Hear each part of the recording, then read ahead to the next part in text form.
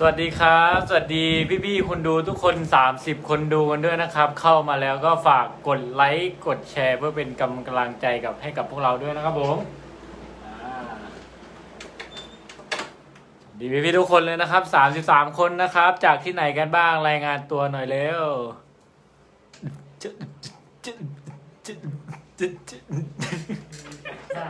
สะอึกสวัสดีครับ สวัสดีพี่นภัสสอนนะครับ พี่บาร์เบอร์เบลด้วยนะครับ พี่นิคมสายสุดใจด้วยนะครับสวัสดีพี่ๆทุกคนเลยนะครับ ก็สวัสดีพี่ๆทุกท่านด้วยนะคะก็วันนี้พี่ๆทุกคนก็รับชมพวกเรา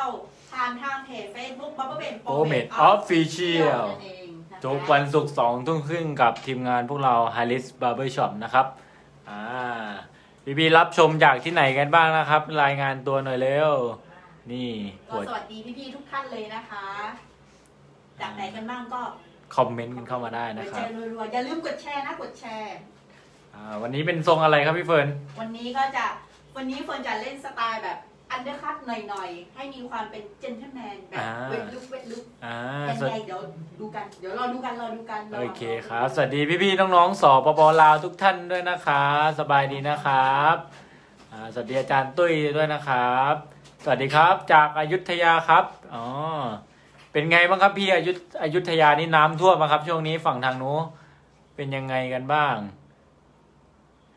อ่า สวัสดีพี่ปุ๊กลุกด้วยนะครับ พี่ปุ๊กลุกบอกว่าสวัสดีค่ะหนุ่มๆเก่งทุกคนจากชนบุรีค่ะอ๋อสวัสดีค่ะคุณพี่ๆทุกคนเลยนะคะสวัสดีครับ เป็นไงกันบ้างครับ ฝั่งทางนู้นอัปเดตหน่อยเร็วคอมเมนต์กันเข้ามาได้นะครับ แล้วก็อย่าลืมฝากกดไลค์กดแชร์ เพื่อเป็นกำลังใจให้กับพวกเราด้วยนะครับใช่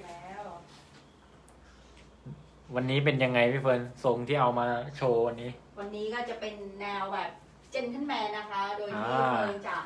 เพิ่มลูกเล่นในการให้มีความเป็น undercut นิดหน่อย แล้วก็อ่าเซ็ตด้วยสไตล์แบบเป็นลุกเป็นลุกครับผม เอาเป็นลุกเป็นยังไงช่างทเวทลุกก็จะเป็นแนวแบบฉ่ำๆนิดนึงอ่อ่าฉ่ำในที่นี้คืออะไรฉ่ำครับฉ่ำ ผมนะครับฉ่ำอ่าจากปทุมก็มานะครับ เขาบอกว่าอาจารย์ตุ้ยบอกว่าเดือดแน่วันนี้นี่อ่า Hello Thailand อ่าสวัสดีครับ สวัสดีพี่ๆน้องๆสปปลาวทุกท่านด้วยนะครับครับสวัสดีครับแชร์ให้แล้วครับ จากพี่เซนบาร์เบอร์อุตรดิตถ์เช่นเคยครับขอบคุณมากครับ อ่าครับผมสวัสดีพี่ๆน้องๆสปปลาวทุกท่านด้วยนะครับ สวัสดีพี่แม็กซ์ด้วยนะครับ พี่แม็กซ์บอกว่าสวัสดีครับ ทีมงาน HRBB สวัสดีค่ะ ชอบเด็ก dreadlock ช่างฮัมด้วยครับ นี่อันข้างโชว์หน่อยแล้ว ของของจริงหรือวิวิกนะครับ ลองดึงดูครับพี่เฟิร์นดึงเก็บครับโอเค สวัสดีคนดู 56 คนดูกันด้วยนะครับ ฝากกดไลค์กดแชร์เพื่อเป็นกำลังใจให้กับพวกเรากันด้วยนะครับนี่วันนี้ก็จะมาเป็นทรง Undercut ใช่ไหมพี่เฟิร์นใช่แล้วสไตล์เจ n ต l e m แมนใช่ไหมใช่เลย อืมก็ก่อนอื่นเลยเฟิร์นจะแนะนำทรงก่อนแล้วกันเนาะวันนี้ ในแบบของเราผมค่อนข้างที่จะเป็นเส้นขนาดกลาง แล้วก็มีความเป็นหยักศกด้วยข้างๆนิดนึงอ่าอ่า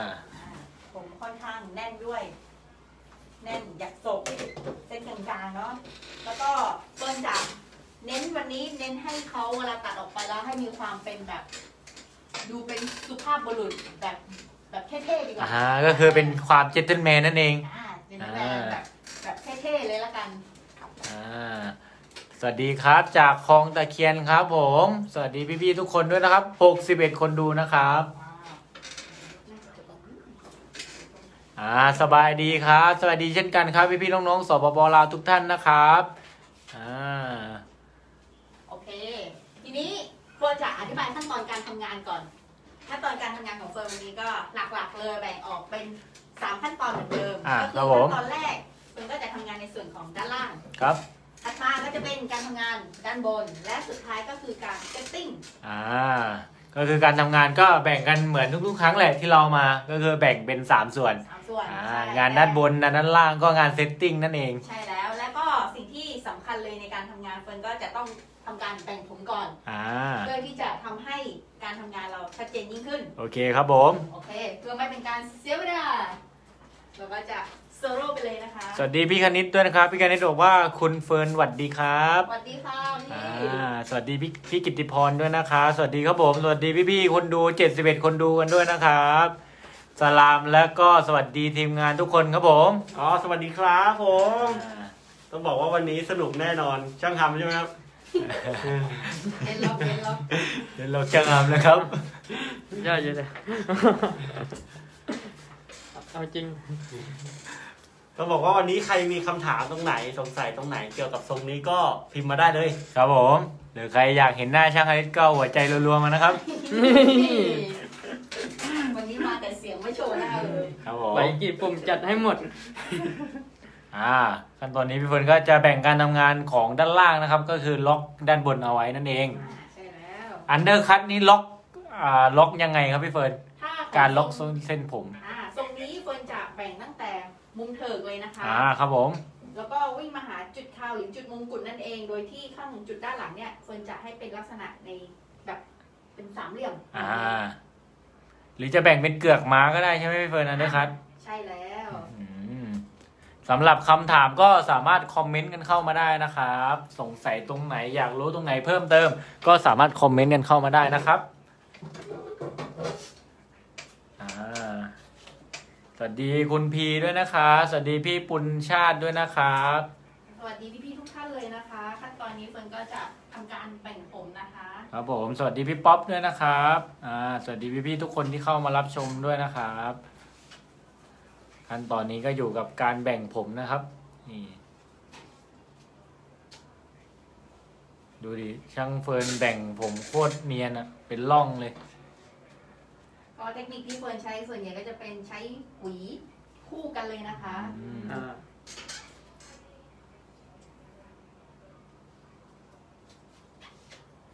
อ่า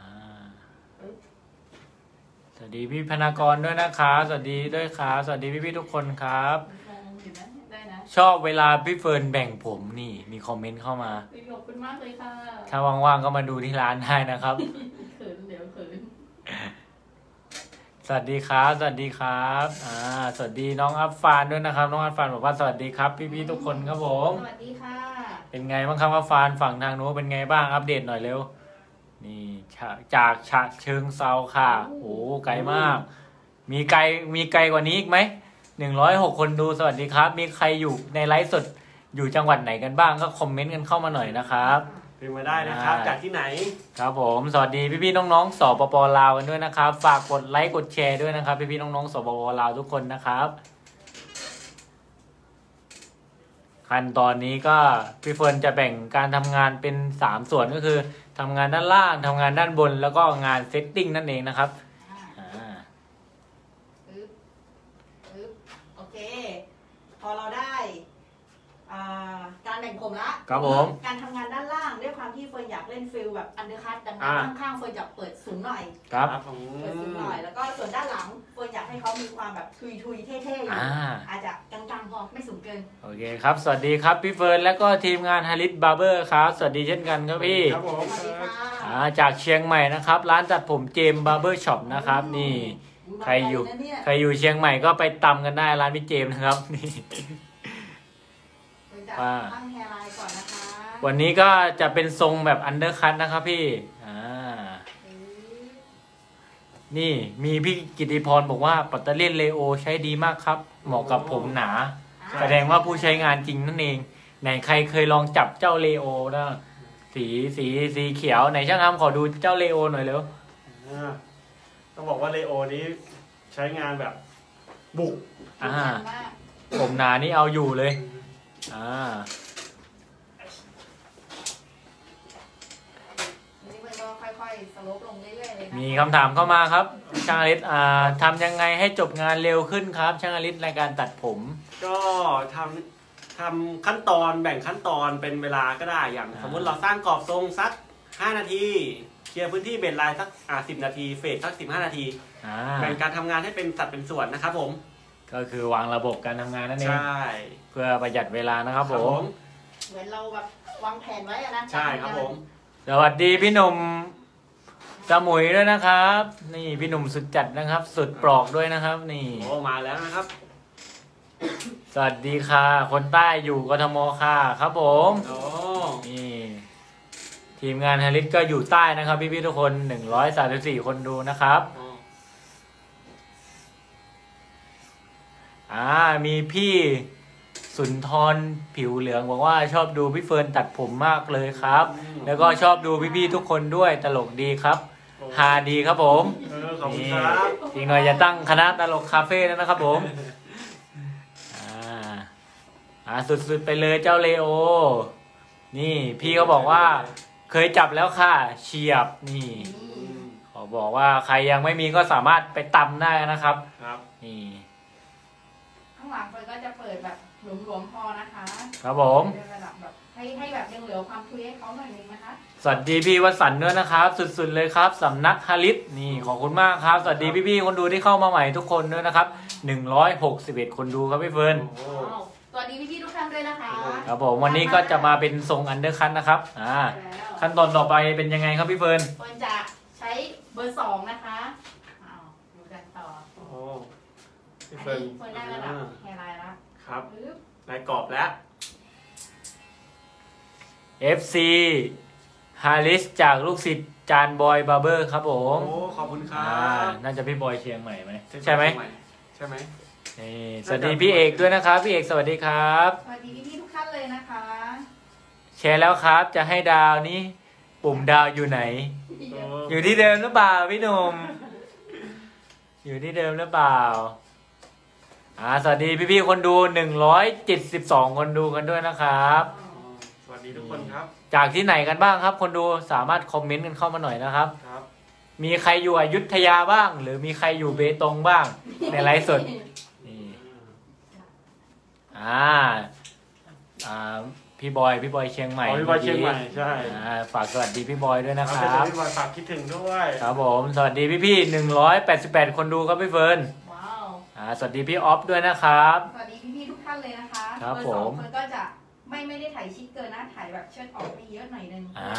ความคุยชัดก็คือสร้างจุดถุยนั่นเอง ครับ อ่าใช่แล้ว FC from ลาวนะครับ โอ้สวัสดีนะคะสบายดีนะครับพี่พี่ๆสปปลาวทุกท่านนะครับ ฝากกดไลค์กดแชร์กันด้วยนะครับพี่พี่ๆฝั่งสปปลาวนะครับผใช่ม ครับผม ฝากติดตามพวกเราผ่านไลฟ์สดบัฟเฟนโปรเมดออฟฟิเชียลทุกวันศุกร์สองทุ่มครึ่งนะครับ หลังโคหลังโควิดเมื่อไหร่เราก็อาจจะมีการเดินทางอาจจะไปเที่ยวหน่อยนะครับใช่ผมนี่นี่นี่ก็ฝากพี่พี่ๆสปปลาวต้อนรับพวกเราด้วยนะครับผม อยากเที่ยวมากเลยตอนนี้เดี๋ยวนะด้วยสถานการณ์แล้วนี่พี่หนุ่มบอกว่าเฟซเก่าพี่โดนแฮ็กสองเดือนครับ โอ้โหว่าแล้วคิดถึงเลยพี่หนุ่มเลยพี่ดูหายไปนานเลย นี่อ่าจากแม่ห้องสอนครับ โอ้โหถือว่าไกลนะแม่ห้องสอนอะ อืมต้องดูการ นะครับผมอ่ามีเชื่อมแบตเตอรี่ขึ้นมาแล้วนี่อ่าครับผมมีคำถามเข้ามาครับพี่อาบูบอกว่าสายตาสั้นมีข้อจำกัดในการเป็นช่างไหมครับผม ขอบอกว่าไม่นะครับ ให้สังเกตที่ดวงตาช่างเฟิร์นนะครับ ก็จะเป็นสไตล์อีกสไตล์หนึ่งใช่ไหมพี่เฟิร์นครับนี่ก็เป็นการเล่นแว่นบวกสไตล์ไปในตัวนั่นเองครับนี่เอาจริงๆ ถ้าถ้าตัดผมเฟิร์นก็อยากแนะนำถ้าแบบถ้าถนัดนะอยากให้ใส่แว่นนะเพราะว่ามันจะมีเศษผมเล็ก ๆเขาจะเวลาถ่ายอะมันจะกระเด็นเข้าตาบ้างอะนะอ่า มีพี่เขาบอกว่าผมอยู่ยุทธยาครับคลองตะเคียนครับช่างอลิศอ๋อบ้านผมเลยคนตะเกียนโอ้ยน้ำท่วมไหมน้ำท่วมไหมนี่น้ำท่วมมาครับอ่าดูอยู่ที่จังหวัดตากครับผมอ่าสวัสดีครับ สวัสดีพี่วาเลนด้วยนะครับนี่สวัสดีค่ะพี่วาเลนบอกว่าถ้าไปลาวพาพี่ตือไปด้วยนะครับผมเราก็จะบอกว่าไปกับพี่ตือเองนั่นเองนะครับผม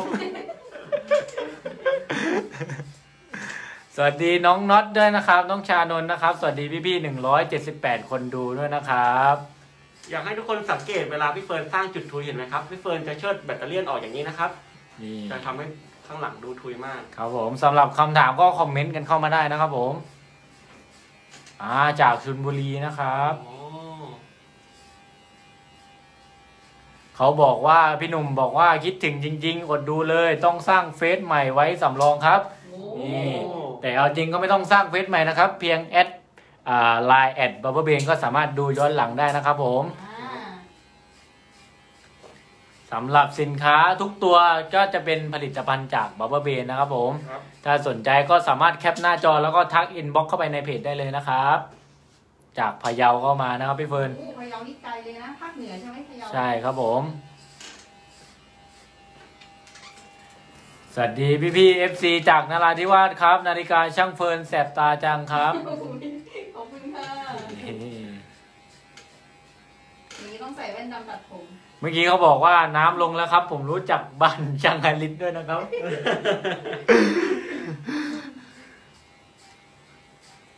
สวัสดีช่างยิมลอนจากสมาโยเอฟซีด้วยนะครับครับผม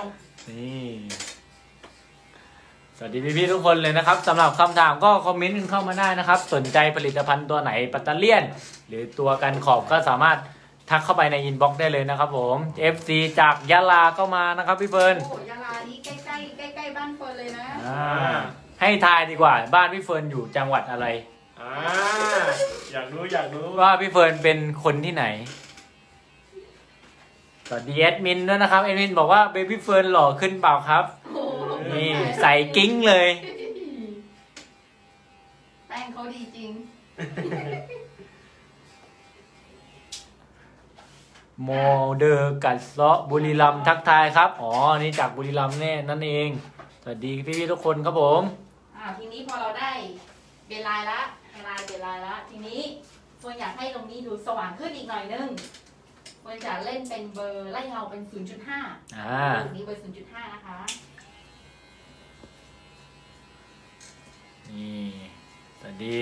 ช่างรอนด้วยนะครับผม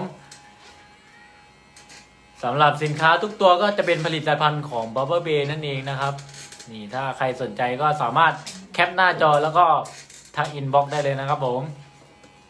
ขั้นตอนนี้พี่เฟิร์นก็จะใส่เบอร์ลอง 0.5 นะครับ ปรับคันโยกเพื่อเล่น step ในการไล่ระดับนะครับผม ใช่แล้ว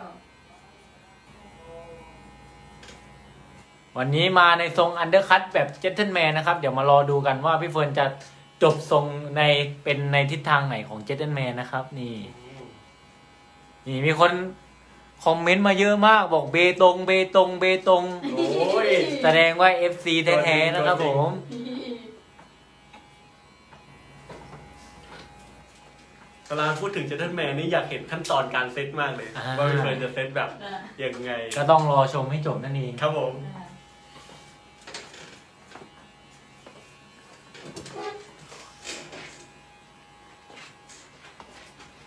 ขั้นตอนนี้เฟิร์นก็จะใช้การสะบัดนะคะ อืมอ่าเขาบอกว่า แอดมินบอกว่าคันโยกนี่โยกไปซ้ายโยกไปขวาได้เปล่าพี่เฟิร์นเอาไหนลองดูนะโยกไปซ้ายอะโยกไปขวา ไม่ใช่แล้วสำหรับคันโยกตัวนี้ก็เพื่ออะไรครับพี่เฟิร์นก็การการคันโยกนะคะ ก็คือเวลาเราโยกจนสุดใช่ไหมก็จะเป็นการปิดหน้าฟัน ก็ถ้าเราไม่ใส่เบอร์รองเลยก็จะอยู่ที่ประมาณเบอร์ศูนย์อ่า ถ้าเปิดหน้าฟันคือหรือเลื่อนคันโยกลงปึ๊บปึ๊บปึ๊บก็เวลาเปิดหน้าฟันยิ่งเปิดมาก มันเหมือนกับความกว้างของเบอร์ก็จะเยอะขึ้น อือืมม ก็คือว่า save การทำงานด้วยสำหรับมือใหม่ๆ นั่นเอง ใช่ครับผม เหมือนอย่างที่เคยดูก่อนๆหน้านี้ช่างอลิสเฟดก็จะ fade ปรับคันโยกไปเรื่อยๆ นั่นเอง ใช่ จะใช้การสมมติจำเบอร์มากกว่าว่าเออตรงนี้เป็นเบอร์อะไรก็ใช้คันโยกนี้นะครับ FC จากบางบอนสมุทรปราการครับสวัสดีพี่ๆสองร้อยสามคนดูครับพี่เฟิร์นอุ้ยสวัสดีพี่ๆทุกท่านเลยนะคะถัดมาคุณก็จะเป็นเบอร์ 1.5 นะคะ เก็บรอยต่อตรงนี้อีกนิดนึง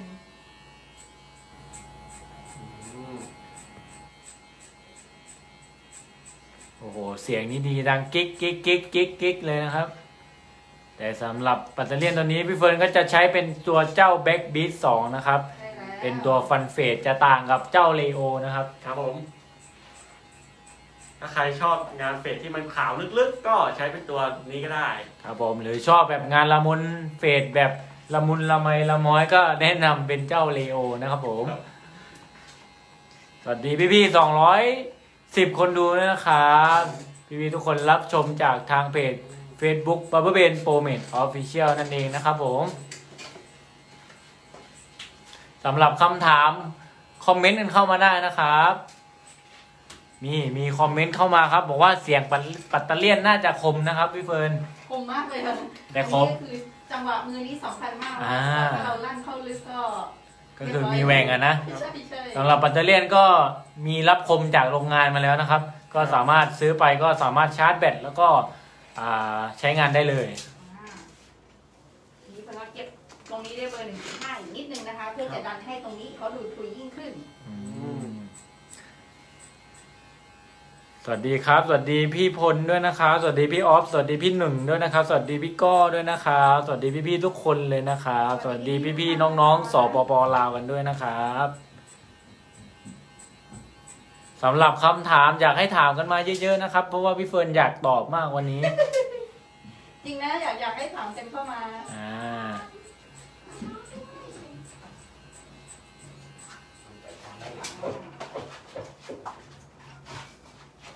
เร็วเลยนะคะ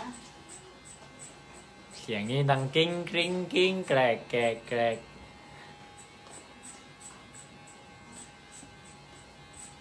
ก็บอกนี่ข้อมือพี่เฟิร์นสำคัญเหมือนกันนะ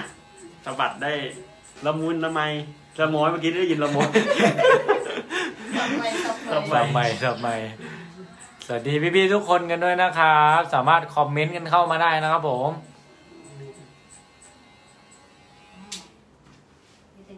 เขาดูทวีขึ้น อะ ทีนี้เรามาดูกันอีกข้างหนึ่งนะคะ โอ้โหเผลอแป๊บเดียวก็ละมุนนั่นเองนะครับผมทีนี้อะมาทวนสเต็ปกันเหมือนเดิม อ่า โอเค เหมือนเดิมเลยนะคะ 0.5 เหมือนเดิมเลย อะใครยังดูไม่ชัดมาดูอีกฝั่งหนึ่ง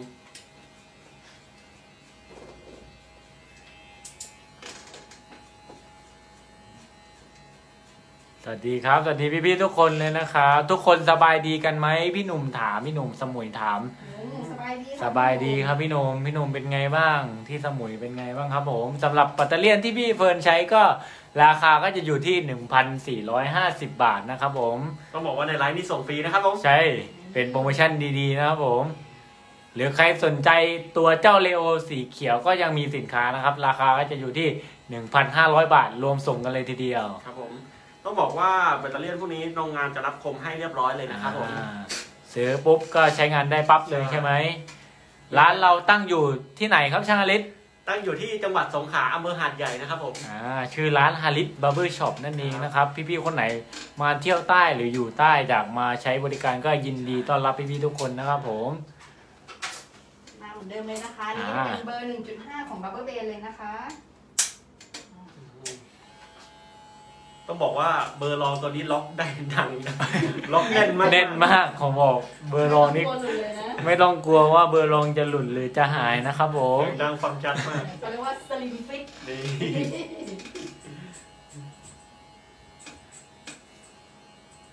สวัสดีพี่ๆทุกคนกันด้วยนะครับเป็นกระจาไล่เหมือนเดิมเลยนะคะ ต้องบอกว่าเทคนิคที่ทำให้เงาก็คือเห็นไหมพี่เฟิร์นจะใช้การสะบัดซะส่วนใหญ่นะครับผมในการสร้างเงา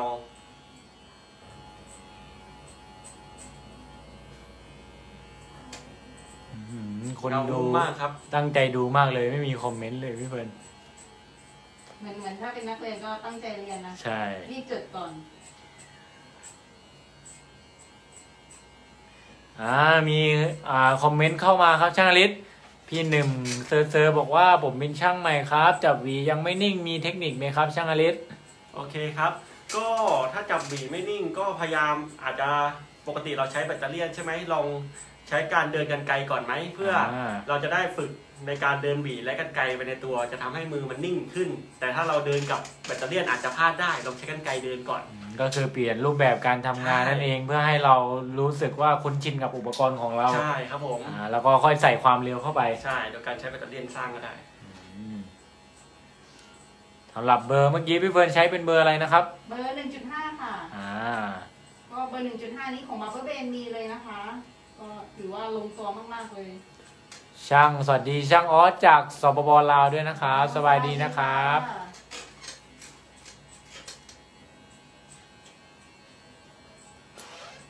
โอเคเฟิร์นพอใจได้กับเงา อ่ามีคำถามเข้ามาครับช่างอลิศเมื่อไหร่จะมีสาขาที่กทมบ้างครับ โอ้ฝากติดตามเร็วๆนี้ ถ้ามีโอกาสก็อยากเปิดเช่นกันนะครับผม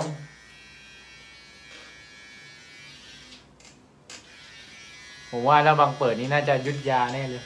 อย่าบ้านบางนะอย่าเปิดแบบ feel แบบริมน้ำอะ โอ้โห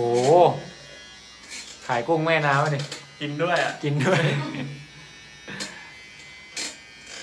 เปิดเปิดแบบหันหน้าเข้าแม่น้ำมานะ ได้ chill หน่อยตัดไปกินไปอย่างเงี้ยนะอ่าอยากตัดทรงนี้ต้องบอกช่างว่ายังไงครับ ก็คือบอกช่างว่า undercut ได้เลยนะครับผม อ่าใช่แล้ว เขาบอกว่ารอมาเรียนที่เราเลยนะครับสำหรับพี่ๆคนไหนที่เป็นช่างมือใหม่อยากได้เทคนิคเพิ่มเติมเราก็มีคอร์สออนไลน์สอนตัดผมด้วยนะครับ เป็นครับผม VS Academy นั่นเอง ครับผมด้านในก็จะเจาะลึกทุกทรงทุกปัญหา ครับนี่มี detail มากมายในเรื่องของ Anatomy อ่าการแบ่งผมการแบ่ง section ของแต่ละทรง ใช่ครับผมรายละเอียดก็จะเยอะมากนะครับ ฝากติดตามด้วยนะครับใน VS Academy ออนไลน์นั่นเองอืม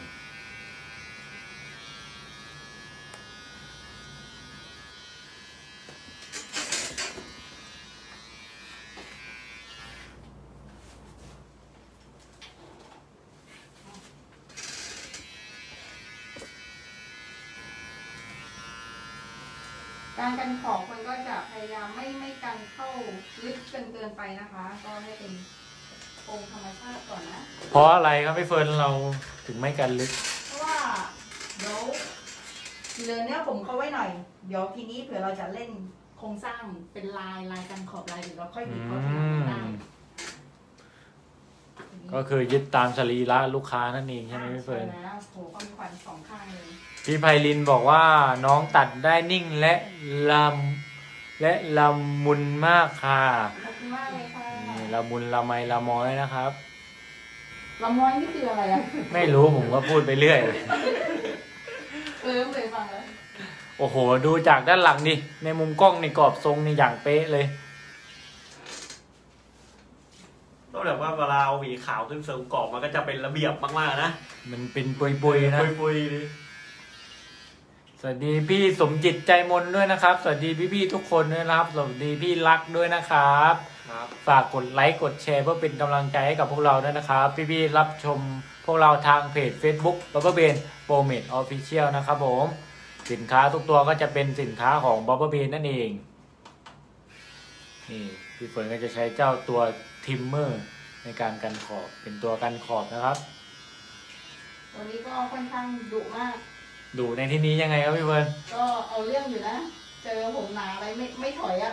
ก็อย่างที่บอกนั่นเองว่าฟันของเราก็รับคมจากโรงงานก็ซื้อมาก็สามารถชาร์จแบตและใช้งานได้เลยนะครับผมครับสวัสดีพี่ทิพย์กมลด้วยนะครับสวัสดีพี่หนึ่งด้วยนะครับสวัสดีพี่ๆทุกคนเลยนะครับผมอ่าทีนี้ เราได้ซ้ายกับขวาละ เรามาเล่นข้างหลังกัน อืมช่วงผมมุมบอกฟันว่า โอ้โอ้โหโหจุดทุย สุดยอดเพื่อให้แบบว่าอ่ามีความเท่ๆหน่อยนะครับส่วนจากการออกแหลมตัดนิดนึง อ่า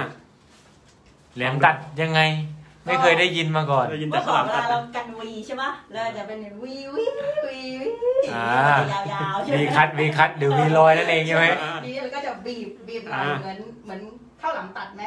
อ่า ก็จะเป็นสามเหลี่ยมแบบอืไม่มไม่ยาวเกิน สวัสดีวัยรุ่นสบ้ายอยนะครับบายเบอร์ยีนะครับผม โอ้ยังช่างยีเป็นไงบ้างครับช่างยีพรุ่งนี้เจอกัน9ก้าโมงครึ่งหน้าร้านนะครับผม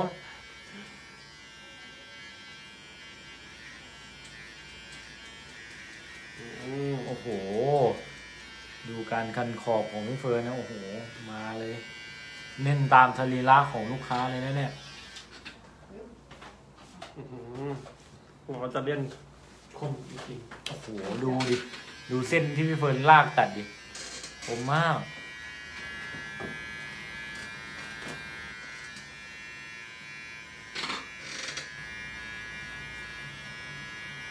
สวัสดีพี่ๆหนึ่งร้อยแปดสิบสองคนดูกันด้วยนะครับผม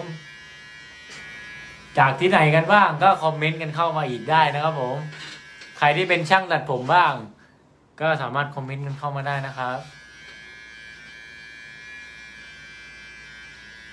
ต้องบอกว่ากรอบทรงด้านบนก็ยังชัด กรอบทรงด้านล่างยังชัดอีกเดียวอืมคมกิบต้องบอกว่าสายละมุนจริงๆพี่เฟิร์นนี่คมกิฟนี่ก็ใช้หัวเล่นเก็บเศษติที่เหลือเลย หลังจากนั้นพอเราได้ งานด้านล่างแล้วก็กรอบผมด้านล่างทั้งหมดแล้วนะคะ ถัดมา เดี๋ยวเราจะ เคลียร์ด้านบนกันอ่าก็เป็นการทำงานของส่วนของด้านบนแล้วนะครับ โอ้โห เส้นคมมากช่างอลิสดูดิ ขอบมากทุกอย่างแบบลงตัวกันที่สุดเลย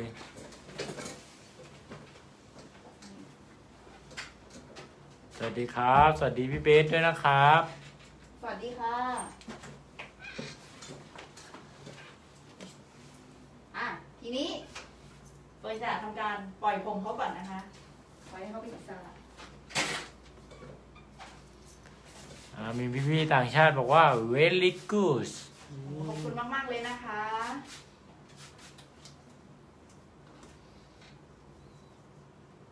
โอ้โห เผลอแป๊บเดียวคนดู 218 คนดูพี่เฟิร์น สวัสดีพี่ๆทุกท่านเลยนะคะ ก็ขั้นตอนนี้เฟิร์นจะทำงานในส่วนของด้านบนละ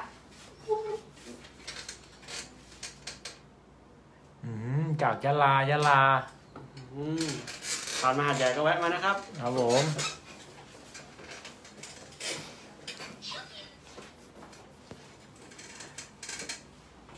อะทีนี้ขั้นแรกเลย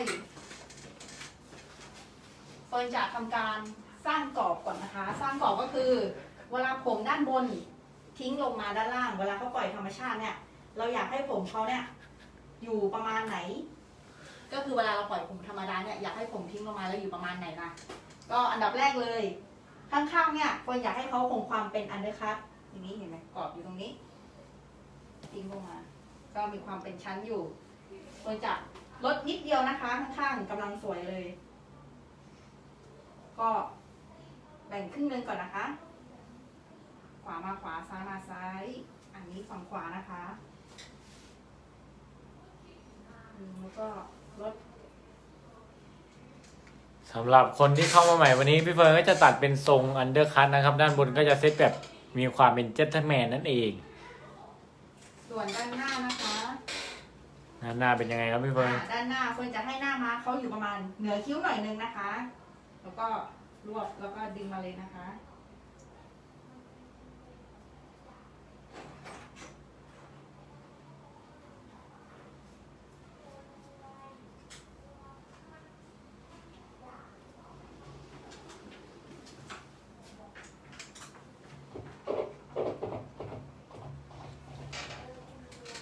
จากสมุทรปราการก็มานะครับนี่ด้านหน้าเขาก็ทิ้งลงมาประมาณเหนือคิ้วหน่อยนึงอ่าช่างอลิสมีคำถามเข้ามาทรง two block กับทรงรองทรงต่ำแตกต่างกันยังไงครับ two block น่าจะเป็นการชื่อทรงนะ อาจจะรองทรงต่ำนี่ก็คือเป็นการชื่อเรียกของงานด้านล่างมากกว่านะครับผมแตกต่างกันตรงที่นะครับผมน่าจะเป็นชื่อชื่อเรียกมากกว่านะครับผมอาจจะอธิบายให้ลูกค้าเข้าใจก็ได้ ลองทรงต่ำคืออาจจะเป็นของกรอบของงานด้านล่างนะครับทูบ็อกก็คือเป็นชื่อทรงโดยรวมนะครับ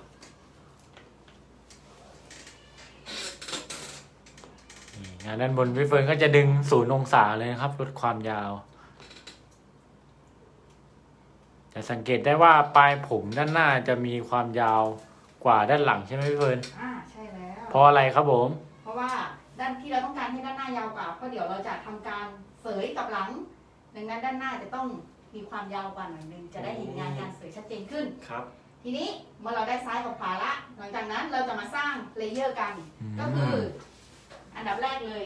พอเราได้กรอบเวลาผมทิ้งธรรมชาติยังไงแล้วใช่ไหมครัทีบนี้เรามาดูกันว่า ถ้าเวลาเราเซตเขาหรือเวลาเขาเสยเนี่ย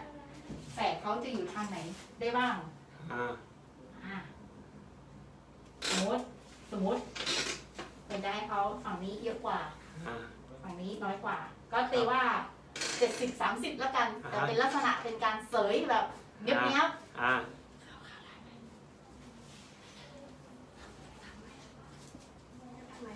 อะเดินเลยครับมาเดินเลยนะเดี๋ยวเลยเดี๋ยวเลยมาลูกมาเข้าได้ปะอ่าเดี๋ยวมาดูภาพมุมสูงกันนะครับอ่าเราจะได้เห็น section ด้านบนแบบชัดเจนนั่นเองชัดเจนเลยนะคะ ทีนี้ ควรจะทำการสร้าง layer เป็นลักษณะอย่างนี้ อ่า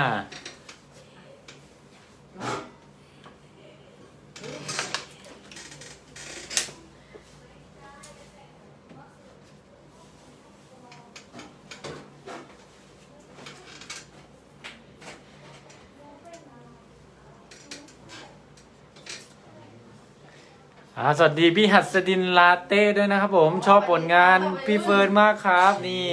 ขอบคุณค่ะพี่เต้ใช่ไหมใช่ไหม อ่าร้านร้านน้องเต้ใช่ใช่ อ่า ใช่ ร้านพี่เต้ ลิงลิงอะทีนี้ผมก็จะเรียงเป็น layer กัน เออ อีกข้างหนึ่งก็เช่นเดียวกันเลย ครับ ขึ้นไปไหนเนี่ยแล้วก็หลัง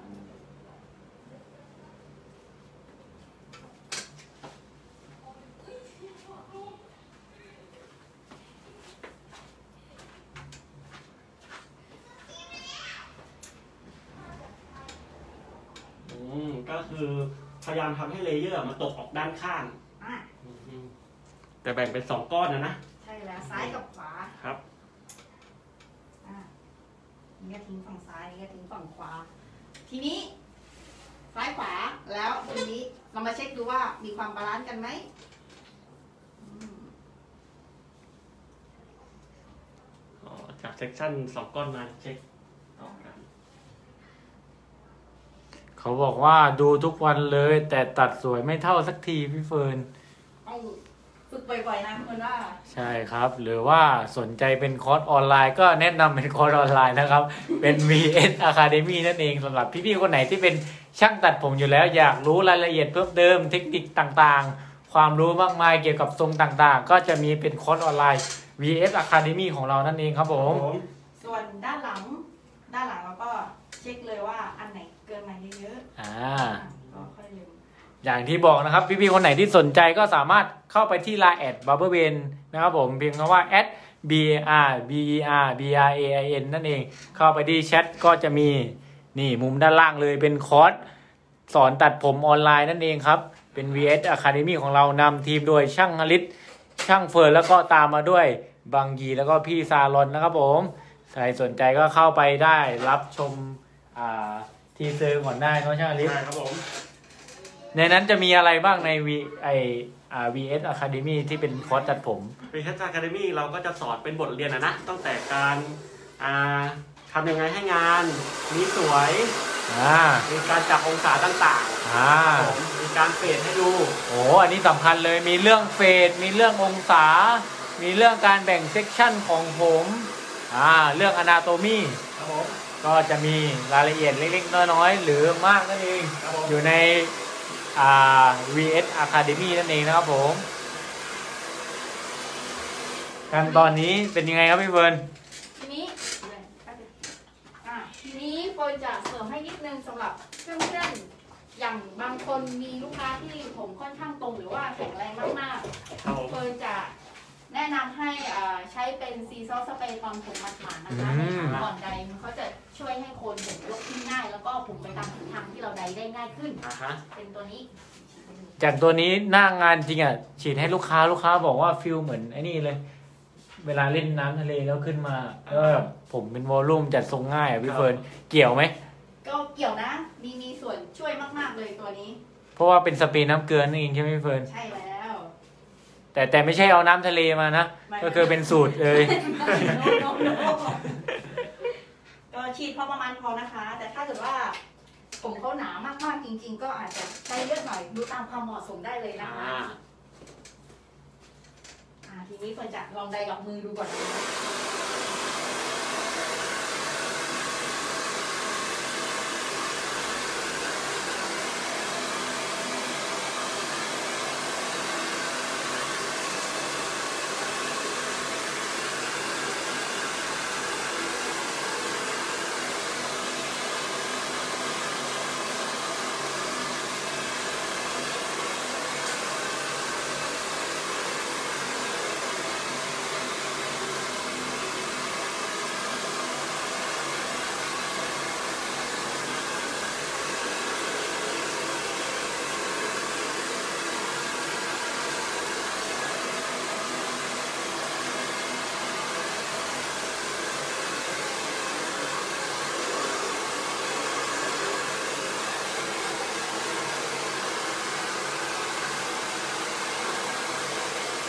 โอ้โหเก้าอี้ที่ร้านนี้เป็นเก้าอี้อัตโนมัตินะครับพี่เฟิร์น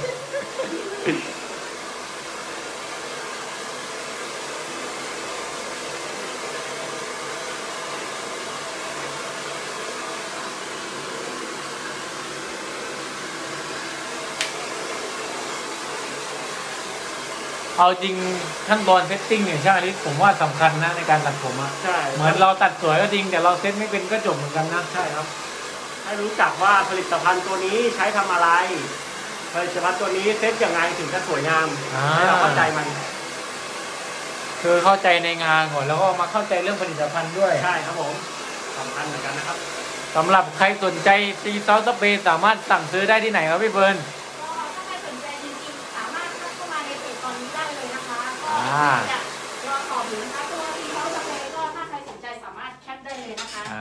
ก็เป็น sea salt spray ตัวนี้นั่นเอง ตัวนี้เฟิร์นจะใช้ตอนผมหมาดๆนะคะมันจะทำให้เข้าถึงทุกซอกได้ง่ายกว่าครับผมใครสนใจก็สามารถแคปหน้าจอแล้วก็ทักเข้าไปที่แอดมินได้เลยนะครับ หรือใครเดินห้างอยู่อยากเซ็ตผมขึ้นมากระทันหันเข้าไปเลยครับทุกคนในที่ Beautrium หรือ Tops ซูเปอร์มาร์เก็ตนั่นเอง ก็จะมีสินค้าของ Power b a n วางจำหน่ายอยู่นะครับ ยัดนิดนึงสายไม่ถึง อันนี้เฟิร์นก็จะแทบจะไม่ได้ใช้หวีอะไรเลย ก็คือใช้มือในการดันผมแล้วก็ใช้ลมตามมือเลยนะคะคือใช้มือสากนั่นเองภาษาใต้ ใช่ใช่ใช้มือซ้างนะครับผม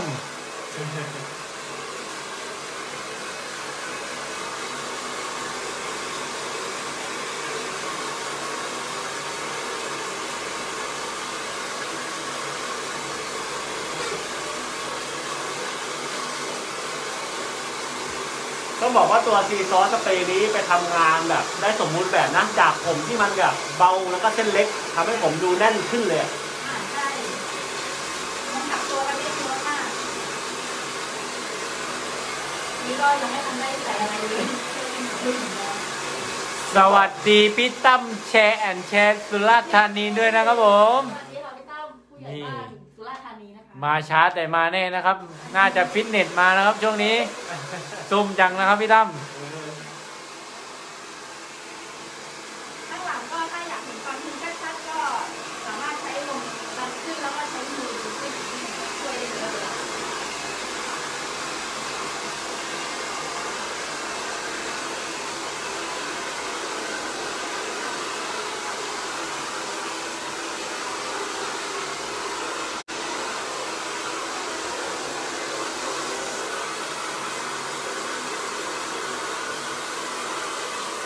สัง เกตได้ว่ามือพี่เฟิร์นเนี่ยจะใช้ลูบไปตามเส้นผมนั่นเอง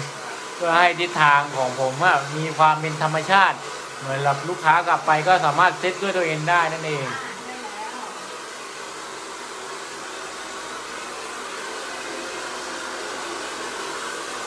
โอเค ทีนี้ พอเราผมมันยกขึ้นหมดละ ทีนี้เราก็จะมาจัดทรงกันในแบบที่เราต้องการนะคะ ทีนี้ด้วยความที่เราตัดในสไตล์แบบให้เป็นลักษณะ gentleman แบบ 70 30 นะคะ หรือว่า 29 71 ก็ได้นะคะ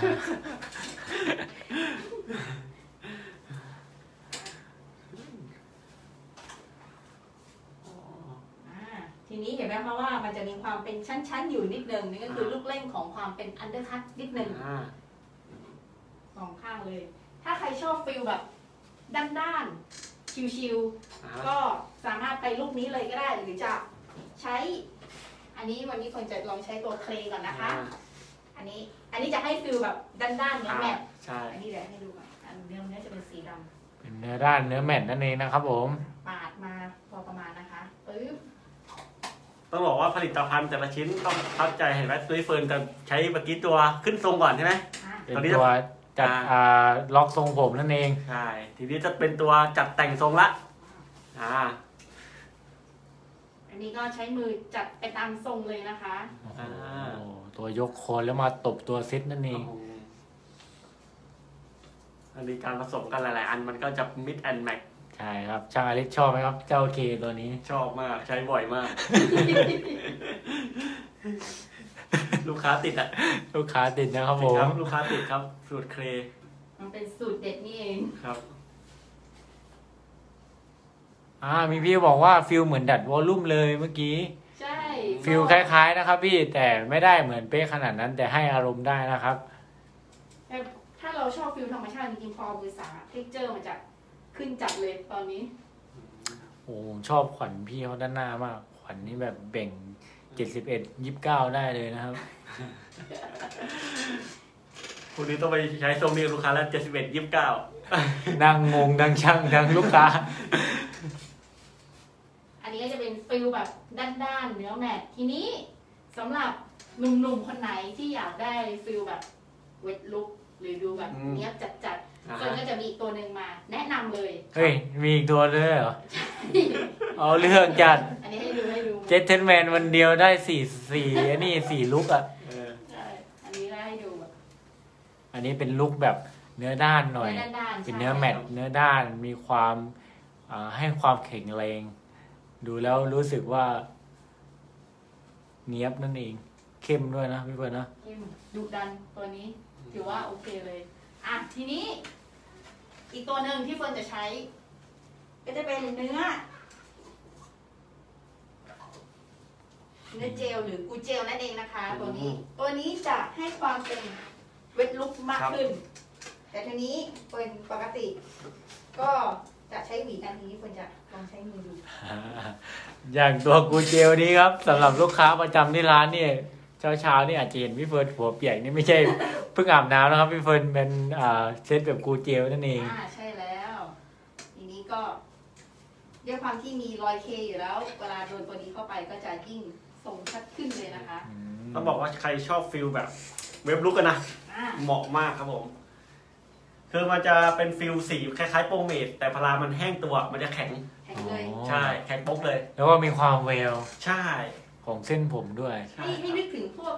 ยุคหนึ่งที่นักฟุตบอลชอบเซตผมเล่นกีฬากันอ่าบ่งไม่แตกอะอ่าแล้วอย่างพี่เฟิร์นนี่เซตกูเจลด้วยไหมก็วันนี้อูเจลเลยกูเจลเลยเพราะว่ามันงานไวแล้วก็อยู่ได้ทั้งวันด้วย อย่างลูกค้าน่าจะคิดแหละพี่เฟิร์นทั้งวันเลยหัวเปียกทุกวันหาว่าเราไอ้นี่เราหาว่าเราเพิ่งตื่นเช็ดหัวไม่สะอาดนั่นคือเป็นสไตล์ของพี่เฟิร์นนั่นเองนะครับผม เป็นแบบ wet look นะครับอ่าแต่ถ้าใครชอบแบบเรียบๆ ไม่ไม่ชอบโชว์ texture มากก็ใช้หวีตบอีกทีหนึ่งได้เลยนะคะนึกว่ายังมีอีกตัวให้ชม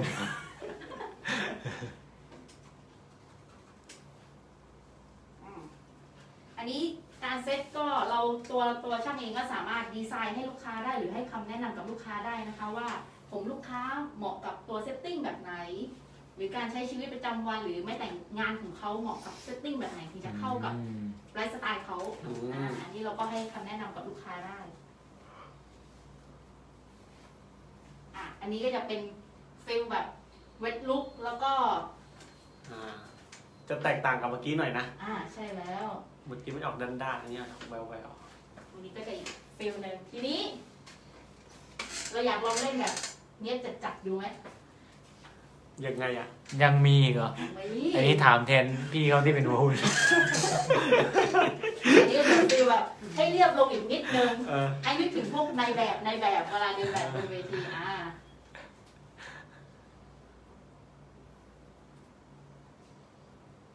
ต้องบอกว่าตัดทรงหนึ่งก็พอเราอาจจะแบบสอนลูกค้าเซตได้หลายทรงนะเป็นความประทับใจอย่างหนึ่งเลยอะ ยังนะครับผม มาแล้วต้องให้คุ้มนะน้องใช่ครับยังนะครับอ่าทีนี้เฟิร์นก็จะใช้ตัวหวีกดกดผมเขาลงอืมเออลูกนี้ก็เจ็บนะ ผมว่านะลูกนี้ต้องมาธุรกิจนักธุรกิจ นี่ เดี๋ยวไปหิ้วกระเป๋าได้เลยเดียว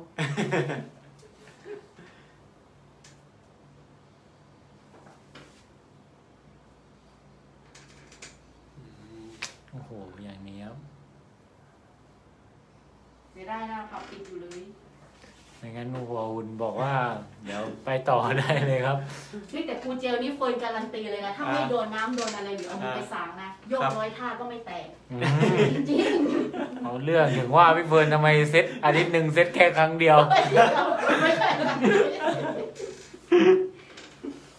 โอเคก็จะดูเข้าทรงมากขึ้นครับ พี่พี่ๆมีคำถามกันไหมไม่มีคำถามเลยคำด่าไม่มีครับผม โอเค ก็จะเสร็จไปแล้วกับพี่เฟิร์นขอเสียงปรบมือให้กับพี่เฟิร์นหน่อยครับผม เร็วเร็วเร็ววันนี้ก็ได้เห็นพี่เฟิร์นใช้ตัวเซ็ตเยอะกันเลยทีเดียวใช่ เป็นเนื้อ clay บ้าง เนื้อกูเจลบ้าง หรือจะเป็นเจ้าสเปรย์น้ำเกลือนั่นเอง ใช่ใช่แล้ว นี่ต้องบอกว่าแต่ละชิ้นแต่ละชนิดใช้งานแตกต่างกันทำให้งานเราดูเปลี่ยนไปได้เลย ทำไมหลอกกว่าเพื่อน พี่เก้าคือบอกประโยคนี้ก็คือรู้กันเลยนะครับพี่ก้าวโอ้โหเมืองแก่นเท้าสปปลาวครับผม สวัสดีครับ สวัสดีครับ โอ้โห เป็นไงกันบ้างครับวันนี้ ก็ถ้าใครชอบฝากกดหัวใจรัวๆให้กับพี่เฟิร์นหน่อยครับครับผม ขอบอกว่าลุคundercut gentleman นี่เหมาะนะ ผมว่าครับผมเหมาะกับทุกไลฟ์สไตล์จริงๆ ใครอยากเปลี่ยน look ก็แนะนำเป็นอีกสไตล์หนึ่งใช่นี่ ลองใช้จุดแสกของขวัญเนี่ย ให้เป็นเสเสน่น่ห์ ห์เป็นเลย นี่โอเค ก็จบกันไปเรียบร้อยแล้วนะคะ ในสไตล์แบบเจน t l e m แมนแบบ อันเดอร์คัตแล้วก็การเซตที่หลากหลายอืมสำหรับพี่ๆคนไหนที่ ดูแล้วอยากลองนำไปใช้ก็ แนะนำลูกค้าได้เลยนะคะ สามารถเซตได้หลากหลายมากๆทรงนี้ อ่า ก็ ใครที่ดูไม่ทันสามารถดูย้อนหลังได้ที่อ่าไลน์ add Barber Brain นะครับ พิมพ์ไปที่ค้นหาเพิ่มเพื่อนแล้วกดคำว่าตัว a d b a r b e r b r a i n นะครับผมครับผม ก็สามารถกดเพิ่มเพื่อนแล้วก็ดูย้อนหลังหรือติดตามข่าวสารดีๆ มากมาย หรือจะเป็นคอร์สออนไลน์ vs academy ในนั้นก็จะมีรายละเอียดนะครับครับผมอ่าสำหรับช่องทางการติดต่อของพวกเราก็ฝากเพจร้าน Haris Barbershop ไว้ด้วย แล้วก็ IG ฮาริสบาร์เบอร์ช็อปด้วยนะครับผม และที่สำคัญช่วงนี้กำลังเทรนกำลังมาก็คือ TikTok นั่นเอง ครับผม TikTok ชื่ออะไรครับชางลิศอ่า Haris Barbershop นะครับผม อ่าถ้าใครยังไม่เคยเข้าไปดูก็ฝากเข้าไปกดติดตาม Follow ด้วยนะครับ ยอดครับดูล่าสุดกี่ล้านคุณดูนะ อาสิบเอ็ดล้านครับผม พูดอาจเดี๋ยวอาจจะว่าคุยก็ฝากติดตามกันด้วยนะครับ ครับผม แล้วก็ที่สำคัญเลยฝากติดตามพวกเราผ่านทาง Facebook b u b b l e b a n p r o m e t Official ครับผมทุกวันศุกร์สองทุ่มครึ่งครับ แล้วก็ยังมีพี่ๆอ่าพี่ตั้มพี่ไหนวันอังคารครับ อ่าแล้วก็มีพี่ๆอิสรภาพนำทีมโดยพี่บอมนั่นเองวันพุธอ่าแล้วก็พวกเราทีมงานฮาริสทุกวันศุกร์สองทุ่มครึ่งนะครับผมใช่แล้วนี่ ก็ ฝากติดตามกันด้วยนะคะสำหรับอาทิตย์หน้าจะเป็นทรงอะไรก็กดติดดาวไว้จะได้รู้ก่อนใครอ่าโอเคพบกับพวกเราได้อีกครั้งในวันศุกร์เวลาเดิมเลยนะคะสองครับผมทุ่มครึ่ง วันนี้ก็ขอบคุณมากสำหรับทรงอันนะคะสไตล์ gentleman นะคะครับสำหรับวันนี้พวกเราทีมงาน Haris Barbershop ก็ขอลาพี่ๆไปก่อนนะครับ เจอกันใหม่ทุกวันศุกร์สองทุ่มครึ่งครับ เจอกันอาทิตย์หน้าครับผมสำหรับวันนี้สวัสดีครับ